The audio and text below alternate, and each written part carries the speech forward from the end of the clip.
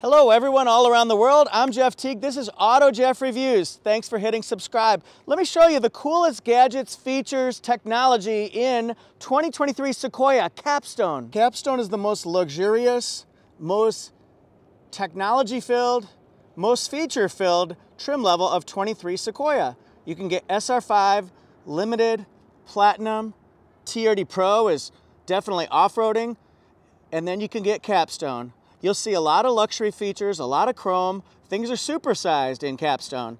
So your job is to tell me what you think as we go along. First one I'll give you before we get into some specs, sequential turn signals. Sequential signals can be found on higher trim levels, the top of the food chain, the cream of the crop. They rise to the top. You can see them in the back part with the tail lights. You can see them in the front. So yeah, not only do they look cool, but they also have a way of letting people know just because they're different that you're turning so they know what you're going to do. It's safer. The next cool feature is gonna be the interior itself.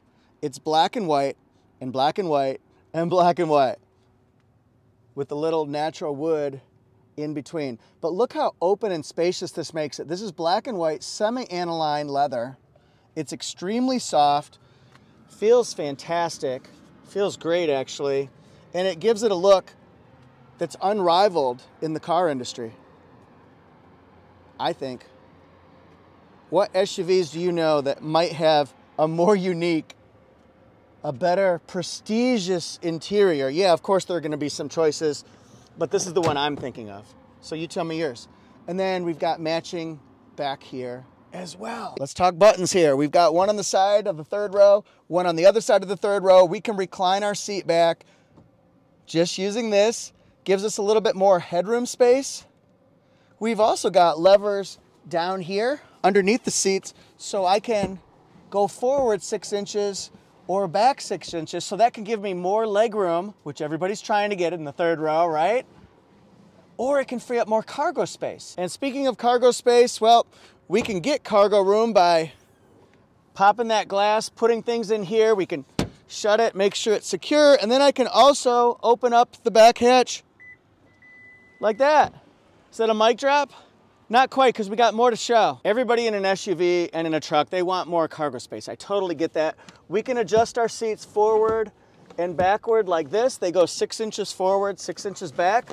You can do them three or four inches. So you can kind of mix it up based on what people in your crew want to do. Do they want to sit down? Do they want to move stuff along?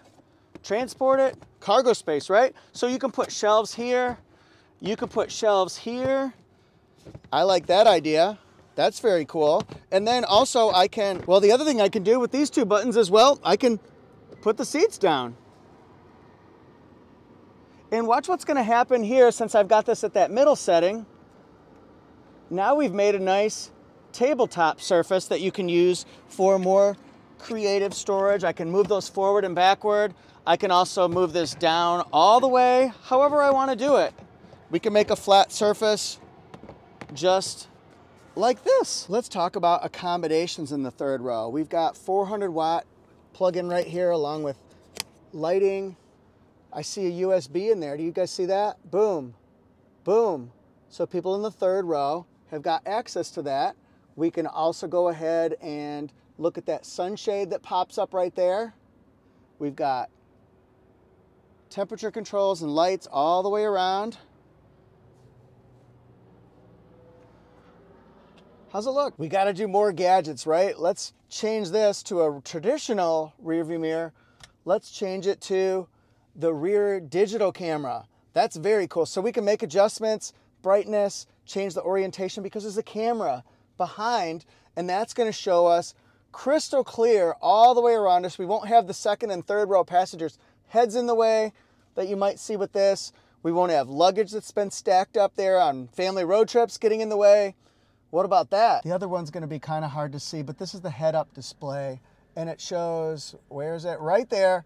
We've got the projection screen right down there, and that's going to project right here so we can see the speed limit, the compass, you can do radio stations, calls, all that stuff. And I can see I'm going zero right now. This one's gonna be definitely a visual display. We've got hydraulic lifts here, I like this, but it's the iForce Max, this new powertrain, this new engine. This is big for 2023. We see it on 22 Tundra already, and it's a way to give us more power. A little bit better efficiency too, so that's kind of cool.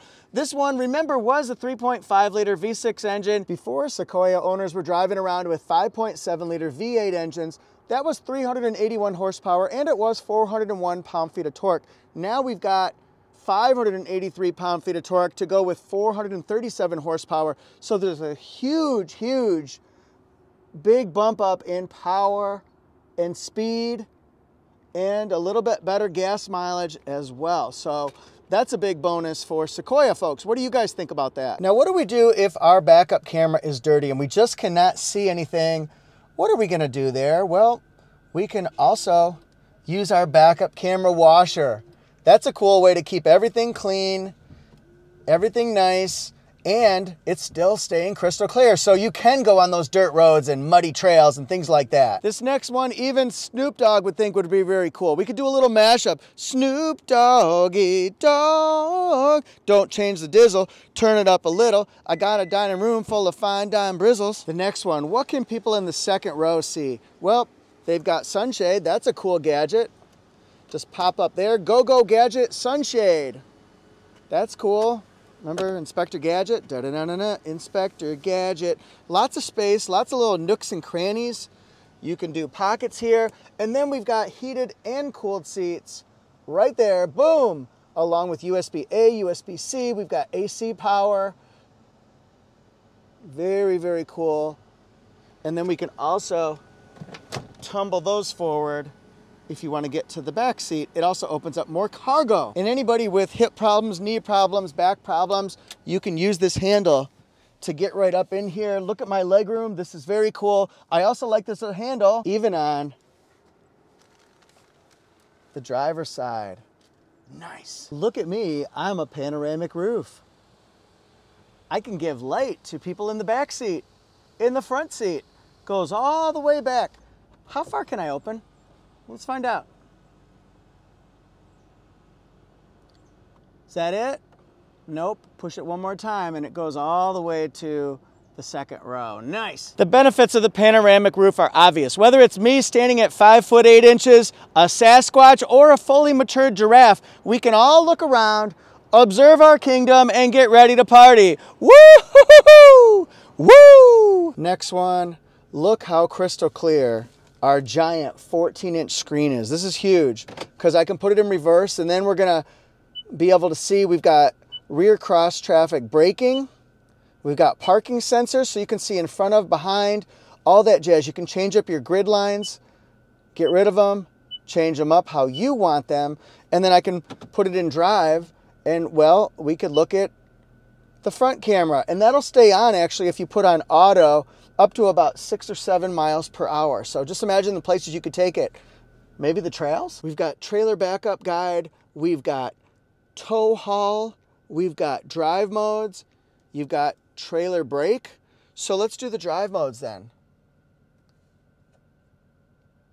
Okay, we've got sport, normal, and eco. So you can change it based on whether you want gas mileage that's better, acceleration that's better, or just normal driving situations. And look at this, fully digital, 12.3 inch. That's pretty cool. Another little tip, if you hold down, push right side, customize right side, what do you want to look at on the right side of that screen? Do you want to see the boost gauges, pitch and roll meter? Again, that'll help you out in the trails. You have to keep holding that down. What about tow gauges? Maybe that's going to be what you're going for. Or maybe you just don't want to see anything.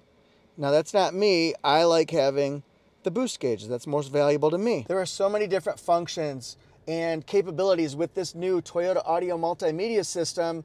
But for me, I can just do a couple until I get this registered and set up. But for right now, hey Toyota, what is my driving range? Your cruising range is 80 miles.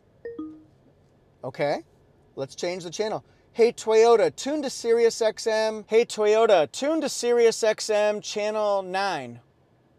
90's on 9. Tuning to Sirius XM Channel 9. Nice. We did it. Some other functions I think you might appreciate having. Memory seats, of course. We've got power mirrors. I like having that one. I also love having the power steering wheel and it works pretty darn quick actually. So we got that. That's nice. We also have, along with the power seat, we've got thigh extender. Try the new thigh extender for $19.95, not sold in any stores. And if you buy now, we'll give you a free Ginsu Nice. Driver and passenger will also have blue for ventilated seats, red for heated seats. Got everything. There's also a dash cam that's in this particular one. That doesn't come standard on Sequoia or Sequoia Capstone, but you can get it as an option as we saw on this one. Let's see what the window sticker can tell us. Number one, boom, made in San Antonio, Texas, along with Tundra, Windchill Pearl with black interior, but that's also the black and white semi-aniline leather. Just absolutely gorgeous. Here's the fuel mileage you can expect. Up to 22 on the highway, 20 combined. Let's see if we can show you some specs. You can just stop the video if you want to learn a little bit more. Mmm, beautiful. So many features, so much safety.